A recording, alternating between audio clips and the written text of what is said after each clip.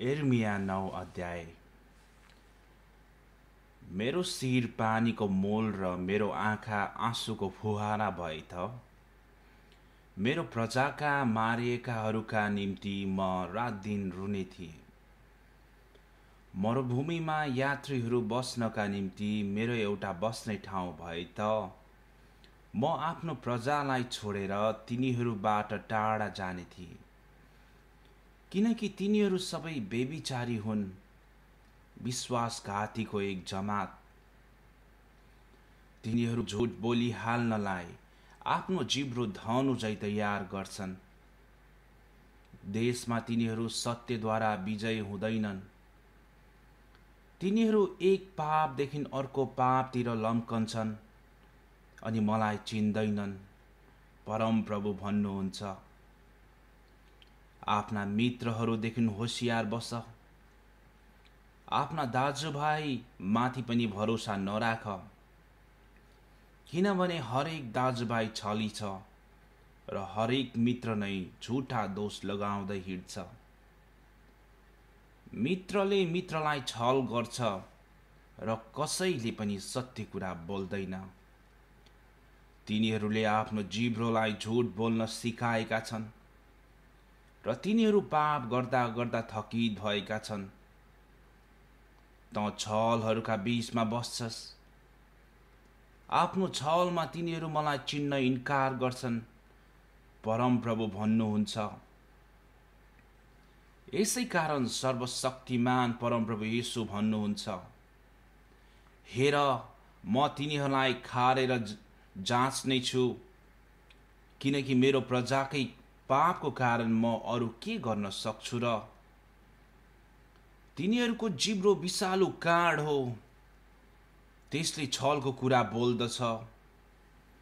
हरेक आफ्नो छिमेकीसित मुखले त मेलको कुरा गर्दछ।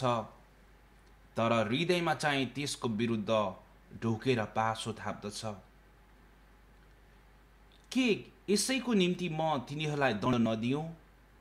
परमप्रभु भन्नुहुन्छ। के यस्तो जातिलाई म दण्ड नदिउँ? पहाडहरूका निम्ति म रुन्छु र बिलाप गर्छु। मरुभूमिमा भएका खर्कहरूका निम्ति म बिलाप गर्छु। ती उजाड पारिएका छन्। त्यसबाट भएर कोही पनि यात्रा गर्दैन र गाई गोरुहरूको स्वर त्यहाँ सुनिँदैन। आकाशका पङ्क्षीहरू भागेका छन् र पशुहरू गइगएका छन्। म सलमलाई फत्केको थुप्रो स्यालहरूको ओडार तुल्याइदिनेछु। म यहुदाका नगरहरूलाई उजाड स्थान तुल्याइदिनेछु र त्यहाँ कोही पनि बस्न सक्ने छैन। यो बुझ्ने कुन यस्तो बुद्धिमान मानिस होला? कसलाई परमप्रभुले सिकाउनु भएको छ? र त्यसले यो बुझाउन सक्छ? कोही त्यसमा भएर जान नसक्ने गरी किन देश मरुभूमि जस्तै नाश र उजाड भयो? परमप्रभुले भन्नुभयो किनभने मैले तिनीहरूका सामुन्ने राखेका मेरो व्यवस्थालाई तिनीहरूले त्यागे। तिनीहरूले मेरो आज्ञा पालन गरेका छैनन् र मेरो व्यवस्था बमोजिम तिनीहरू हिँडेका छैनन्। त्यसको सट्टा तिनीहरू आफ्नो हृदयको हटमा हिँडेर तिनीहरूका पिता पुर्खाहरूले सिकाए अनुसार बाल देवताका पछि लागेका छन्। यसकारण सर्वशक्तिमान परमप्रभु इजरायलका परमेश्वर यसो भन्नुहुन्छ हेर म यस प्रजालाई एरुलो खुवाउने छु र पिउनलाई विशालो पानी दिनेछु। न त तिनीहरूले न तिनीहरूका पिता पुर्खाहरूले जानेका जातिहरूका बिचमा म तिनीहरूलाई छरपष्ट पार्नेछु र तिनीहरूलाई नष्ट नपारुन्जेल तरबार लिएर म तिनीहरूलाई खेद्नेछु। सर्वशक्तिमान परमप्रभु यसो भन्नुहुन्छ अब विचार गर। विलाप गर्ने स्त्रीहरूलाई बोलाओ। तिनीहरू मध्येका सबैभन्दा निपुण विलाप गर्नेहरूलाई बोलाइ पठाओ।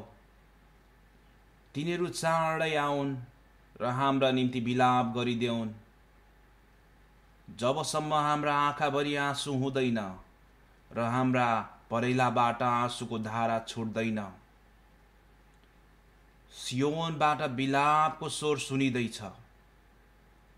हामीहरू कस्तो किसिमले नष्ट भयौँ? हामीहरू लाजले भुतुक्क भयौँ। हामीले हाम्रो देश छोड्नै पर्छ किनभने हाम्रा घरहरू नष्ट भए। अब हे स्त्री हो परमप्रभुको वचन सुन। उहाँको मुखको वचन सुन्न तिमीहरूका कान खोल।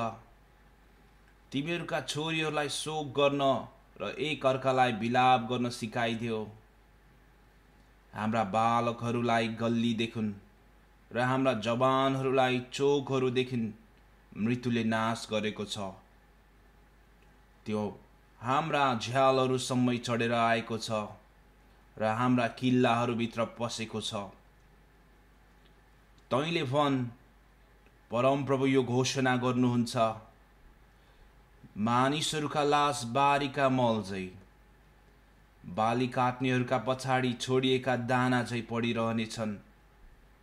र कसैले तिनलाई बटुल्ने छैन। परमप्रभु यसो भन्नुहुन्छ बुद्धिमान मानिसले आफ्नो बुद्धिमा घमण्ड नगरोस् अथवा बलियो मानिसले आफ्नो बलमा घमण्ड नगरोस् अथवा धनी मानिसले आफ्नो धनमा घमण्ड नगरोस्। तर जसले घमण्ड गर्छ त्यसले यस विषयमा घमण्ड गरोस्। म परमप्रभुलाई जान्दछु र चिन्दछु। र उहाँ यही परमप्रभु हुनुहुन्छ जसले पृथ्वीमा दया न्याय र धार्मिकताको व्यवहार गर्नुहुन्छ। किनभने यिनैमा म प्रसन्न हुन्छु परमप्रभु भन्नुहुन्छ। परमप्रभु घोषणा गर्नुहुन्छ समय आउँदैछ। जब म शरीरको मात्र खतना भएकाहरू तर यथार्थमा बेखतना भएका सबैलाई दण्ड दिनेछु। अर्थात् मिश्र देश यहुदा एधोम अम्मोन मोआब र मरुभूमि र टाढा टाढाका ठाउँहरूमा बस्ने सबैलाई। किनकि यी सबै जातिहरू साँच्चै नै बेखतनाका हुन् र इजरायलका सारा घरानासित पनि हृदयमा बेखतना भएकाहरू हुन्।